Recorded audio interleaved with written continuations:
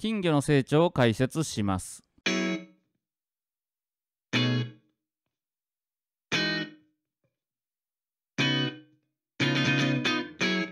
水生動物学研究室主催の太田金也です。今回も皆さんと一緒に金魚の発生学について学んでいきましょう。え前回は金魚の肺発生について解説したのですがその動画ご覧になられてない方は概要欄にリンクを貼っておりますのでご参考ください。えそれでは解説していきます。孵化する前の肺は卵黄を使いながら大きくなってきました。そして孵化した後も徐々に卵黄が消費されていき最後にはなくなってしまいます。この点が孵化する前と後の大きく違うところですね。つまり孵化した後の金魚はこれから餌を食べて外から栄養を得て大きくなっていきます。そうなると温度だけでなく餌の条件も成長に関わってきます。他にも水槽の大きさや水槽の設置場所飼育密度などなど成長に影響を及ぼす環境要因が肺発生の時期に比べて多くなります。大きな池で少なく飼ってたっぷり餌をあげた場合と小さな水槽でぎゅうぎゅうに飼って餌をあんまりあげなかった場合とで成長に差が出るのは当然ですよね、えここまで極端じゃなくても同じ成長過程を違う環境下で再現するのは非常に難しいことはお分かりいただけるかと思います。なので今回の動画では私たちの研究室の飼育条件下で孵化飼魚がどういうふうに姿を変えて制御へと成長していくのかについて解説します。受精後3日目です。孵化した直後は浮き袋が発達していないので安定して泳ぐことができません。これだと餌を追いかけて捕まえることも上手にできません。でもお腹に卵黄が残っているのでまだ大丈夫です。外部の刺激に対応して泳ぎ回ったりしますが、基本水槽の底や壁に張り付いてじっとしています。孵化して1日経ちました。受精後4日目になります。この辺りから浮き袋が徐々に出来上がってきます。成長の早い個体によっては浮き袋が機能し始めます。この銀色の部分が浮き袋です。そうなると上手に水の中で体勢を保って泳ぐことができます。まだお腹には卵黄が残っているのですが、餌を追いかけて、えー、食べることができます。水を汚さない程度に水槽にゾウリムシを入れておいてあげれば餌を食べ始めます。受精後5日目です。いかにも食べる気満々の顔つきになってまいりました。ちょっと前の段階の金魚たちと比べてみましょう。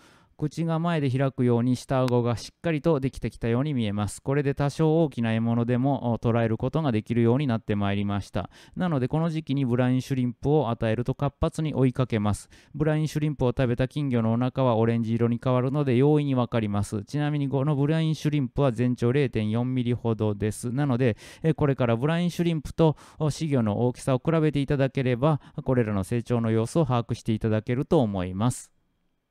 受精後18日が経ちました。先ほどの孵化飼魚と比べて明らかに大きくなりました。2週間も見ないうちに劇的に姿形が変わります。口もさらにしっかりして体も大きいので、ブラインシュリンプを簡単に丸飲みできます。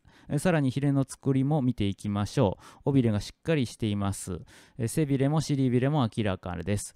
これらのヒレの中には気状と呼ばれるヒレを支える骨格も入っています。ちょっと受精後5日目の稚魚と比べてみましょう。この段階だと背びれも尻びれも尾びれも1枚の膜として全部くっついています。そして成長が進むにつれて、えこういうふうに分かれてきます。浮き袋も注意して比べてみてください。個体によっては銀色の玉のように見える浮き袋の数が1つから2つに増えているように見えます。はい、この2週間の間目を離している間に様々な組織機関が発達してきたのですね。この2週間の間何が起きたか詳しく知りたい方がおられるかと思うんですけれどもちょっと孵化飼魚の成長過程の観察の難しいところについて、えー、説明させてください、えー、前回の動画では肺発生の過程は、まあ、このような感じのタイムラプス映像で時間を縮めて皆さんに、えー、お見せすることができました。肺発生の過程で起きる現象っていうのは大体ですねあの短くて数分。長くても3日で撮影が終了します。なので短い撮影時間で撮りたい映像が収録できたのですところが孵化飼魚の成長は数日単位で進んでまいります。そして魚たちは動き回ります。そうなるとその変化を連続的に映像に収めるのは難しくなってまいります。特に同一個体の成長過程を追いかけるのは非常に難しくなります。しかしご安心ください。我々の研究室ではすでに孵化後の金魚の成長過程の詳細な観察に何度も成功しております。そしてこれらの論文を発表しております。なので反響やご要望に応じてこれらのさらに詳しい解説動画も作っていこうかと思いますので興味のある方はチャンネル登録のほどよろしくお願いします。えー、さて引き続き見てまいりましょう。受精後26日目。もう輪郭が大人の金魚に近づいてまいりました。ブラインシュリンプの大きさと比べても明らかに違います。口を開くと少し離れた場所の餌を水ごと吸い込むことができます。そして今まで見られなかった新たな特徴が出てまいりました。腹びれに注目してください。ちょっと受精後18日目の肺と比べてみましょう。腹びれが著しく発達しているのが分かります。18日目の金魚の腹びれがちょっと飛び出しているだけなのに対して26日目の個体の腹びれはより平たく広くそして気丈を持っていることが分かります。このヒレの出現順序についてもいろいろ話したいことがあるのですがそれはまた別の機会に。受精後46日目、体の大きさは小さくても制御と同じ特徴を持っています。すべてのヒレに気丈がしっかりできています。なので、この辺りになってくると、死魚の時期から稚魚の時期に移り変わってまいります。この死魚と稚魚の定義については、これまたいろいろと議論があるのですが、制御と同じ組織器官を持っていて、生殖能力がないものを稚魚と呼んで、その前の段階を死魚と定義できます。でも、この定義だと、受精後26 6日目のあの金魚たちは何で死魚と呼ばれるんだと思われる方も出てくるかと思います。なのでちょっと比べて確認してみましょう。はい、比べてみますと26日目のこの個体には総排泄口の前に膜があるのを見て、えー、取れるかと思います。